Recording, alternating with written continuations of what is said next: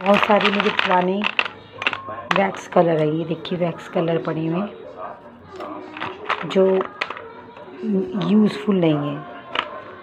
ये देखिए, कोई यूज़फुल नहीं है। अब मैं इनका क्या करूँगी? आप देखिए। मैंने गैस जलाई। और ये कढ़ाई रखी है। अब इसको मैं थोड़ा गर्म होने दूँगी। ये गर्म हो गया है। इसमें मैं ये वैक्स कलर्स जो मोमी कलर होते हैं, वो मैं डालती हूँ। अब इसको थोड़ा सा हिलाते रहेंगे, पिघलने तक। ये देखिए किस तरह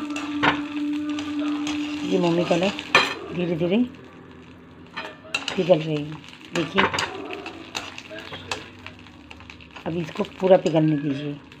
ये इस तरह से, ये देखिए, अब इनको ये ये इस तरीके से, ये आप ये लेंगे, एक सांचा लेंगे। सांचे को इस तरह रखकर, ये यहाँ से एक हल्का हल्का ये लेंगे और पोर कर देंगे ये। देखिए, पोर कर देंगे इसमें। और ये कलर तैयार हो जाएगा। एक फंटेस्टिक कलर निकलेगा। ये देखिए, ये वैक्स में पूरा भर देंगे हम। ये देखिए ये देखिए किस तरह भर रहे हैं इसकी शेप आ जाएगी और कलर ब्यूटीफुल कलर निकलेगा। ब्यूटीफुल कलर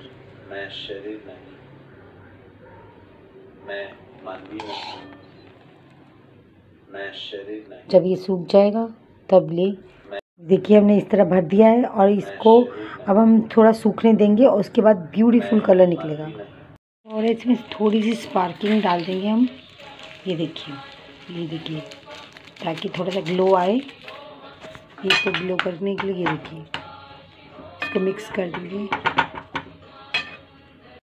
इसमें भी स्पार्किंग कर देंगे देखिए।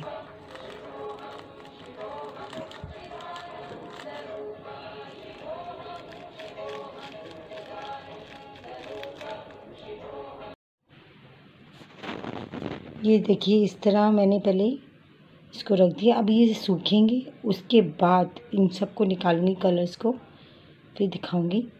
मैंने ये सारे ये बॉटल्स के ढक्कन और वेस्ट जितने भी ढक्कन हैं, वो मैंने यूज़ किए इसमें।